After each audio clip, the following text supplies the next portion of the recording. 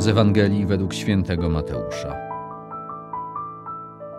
Jezus powiedział do swoich uczniów: Jeśli wasza sprawiedliwość nie będzie większa niż uczonych w piśmie i faryzeuszów, nie wejdziecie do Królestwa Niebieskiego. Słyszeliście, że powiedziano przodkom: Nie zabijaj, a kto by się dopuścił zabójstwa, podlega sądowi. A ja wam powiadam: każdy, kto się gniewa na swego brata, podlega sądowi.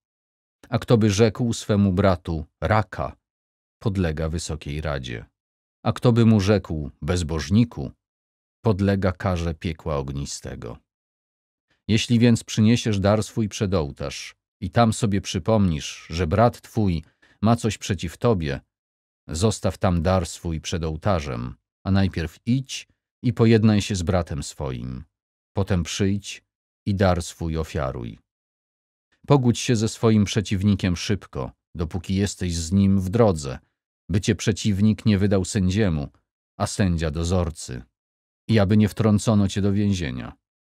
Zaprawdę powiadam ci, nie wyjdziesz stamtąd, dopóki nie zwrócisz ostatniego grosza.